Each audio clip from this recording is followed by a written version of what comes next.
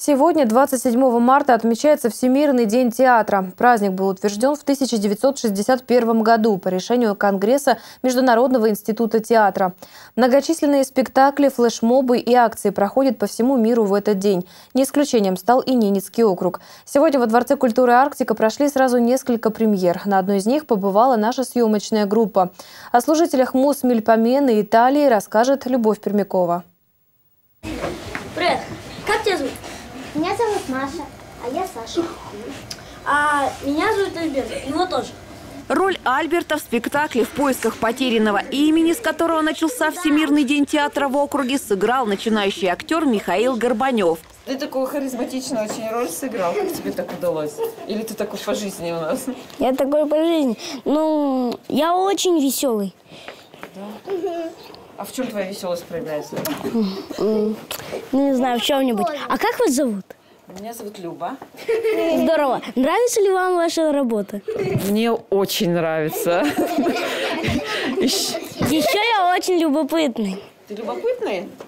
Да? И все, наверное, заметили это, да, ребята? Нет. Нет.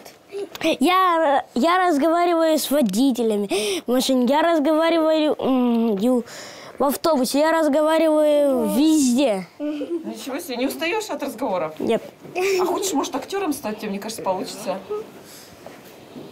Я актер по жизни. Таких актеров с большой буквы, как Михаил, в театре «Рада» много. Сегодня они вместе с ним на одной сцене. Все 20 артистов, учащиеся начальной школы. Самым маленьким едва исполнилось 7 лет. Мастерство своих сверстников после спектакля высоко оценили два друга Кирилл Чупров и Тимофей Хозяинов. Ну, было здорово. Так интересно. Ну, короче, так все красочно.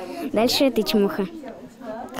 Ну, спектакль очень, э, ну, интересный, э, яркий, красивый, громкий.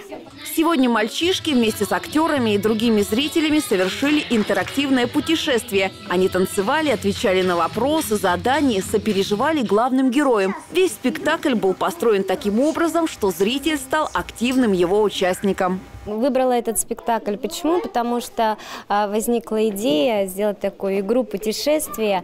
И, конечно, детям актуально и интересно э, про своих сверстников, про то, как мы живем. И они э, здесь искали вот именно э, буквы через разные препятствия проходя. И здесь показывали качество дружбы, качество вот свои какие-то желания.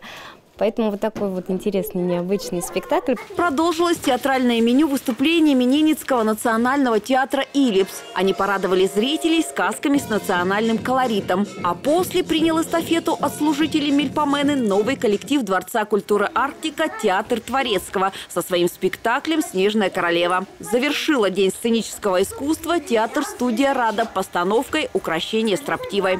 Также это лекарь человеческих душ, да, то есть мы можем здесь и поплакать, и посмеяться, и видите сами, какие они у нас тут все живые, нарядные, веселые. Поэтому творчество, позитива, ну и, конечно, будьте счастливы. Любовь Пермякова, Антон Бодряков, телеканал «Север».